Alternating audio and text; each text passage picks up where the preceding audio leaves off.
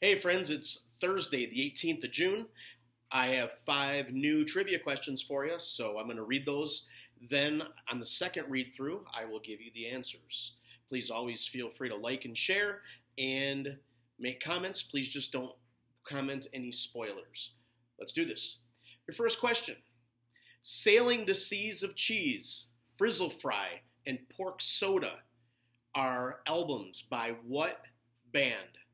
Again, Sailing the Seas of Cheese, Frizzle Fry, and Pork Soda are all albums by what band? Name the band. Question number two. What's the most popular pizza topping in the U.S.? I looked this up today, and uh, and I, guys, the question is, what's the most popular pizza topping in the U.S.? Question number three. It's going to be an over under, so you just need to say over or under as your answer. So here's the statement over under 10 countries border China. Over under 10 countries border China. So you if you think it's more, you say over. If you think it's fewer than 10, you say under. Question number 4. This is a slang term. The tube is what in England? In England, the tube is what? It's a slang term for something. What is it? And then question number five phaser, distortion, flange, delay, reverb, and chorus are all effects for what? Again, phaser, distortion, flanger, delay, reverb, and chorus are all effects for what? All right, I'm going to go back through and I'm going to give you the answers on this the second time through.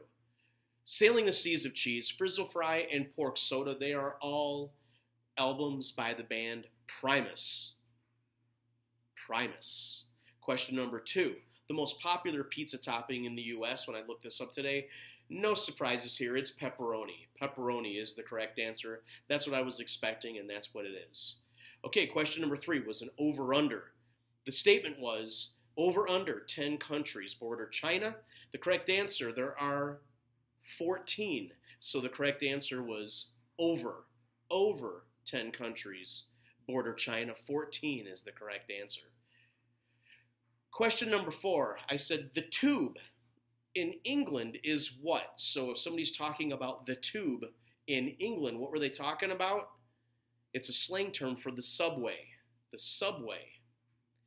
And question number five phaser, flanger, distortion, delay, reverb, and chorus. Those are all effects for their, their music effects. Usually, guitars and basses have them, and they affect the sound, the signal from the instrument to the amp. It's in between there, and it gives the guitar or bass, and sometimes sometimes other instruments, it gives them uh, different sounds. All right, so those are effects. Effects pedals or effects units for music. They can be in a little pedal about that big called a stomp box, or they can be in another and, and many other shapes and forms. But those are effects for music. All right. This was the 18th of June. Until I see you tomorrow, be safe and be nice.